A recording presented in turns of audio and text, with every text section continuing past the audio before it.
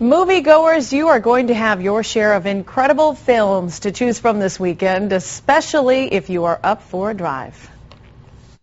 We're talking today with film directors Nicholas Langholz and Darren Burrows. Gentlemen, thank you much for joining us today. We appreciate it. You're getting set to kick off the Driftless Film Festival. Talk about what it is and, and how it got started. Well, the Driftless Film Festival is uh, in southwestern Wisconsin in the Driftless area. Uh, it's three venues this year. The uh, Al Ringling Theater in Baraboo, uh, the Mineral Point Opera House, and then in Platteville, the uh, Avalon Theater. Everything starts tomorrow uh, on Thursday with our kind of kickoff of this, this you know, our first year event at the Mineral Point Opera House. Uh, we got a great movie called Lovely by Surprise at 7:30, and we got like an open event from 6 to 7 for people who want to come out and check out the film festival at Mineral Point.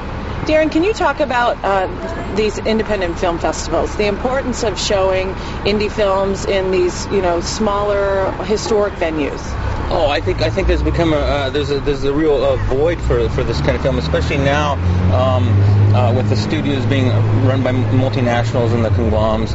Um, you tend to get uh, uh, spoon-fed a lot more of a, of a generic uh, product, which is good, and but but the, you don't have the variety. And so, um, and and one of the great things we love about out there is you have all the theaters that survived the 1970s, 1980s shoebox era, and uh, so it's a really a great place to see movies. What can uh, folks expect that would be coming out to see some of these films?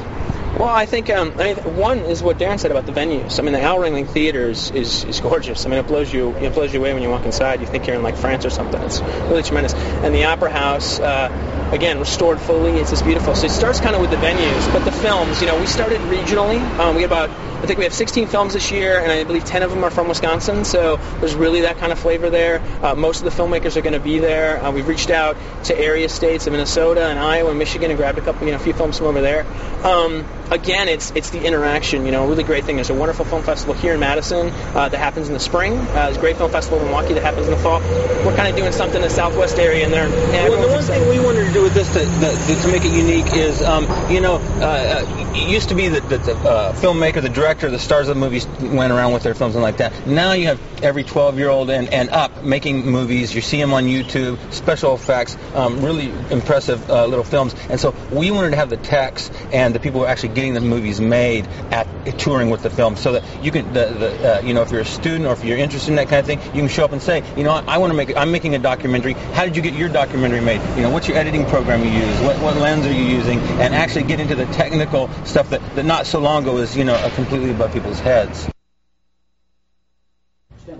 Speaking of being present, both gentlemen will be at the Orpheum tonight to kick all of this off. They're doing a screening tonight of the film No Names. Darren's in the movie. It's co-produced by Nicholas. If you'd like more information, we've got a link to the Driftless Film Festival, which starts tomorrow, and you can just go to NBC15.com and look under news links. If it's not there right now, it will be shortly. Still ahead this morning at 11, have you cleaned yourself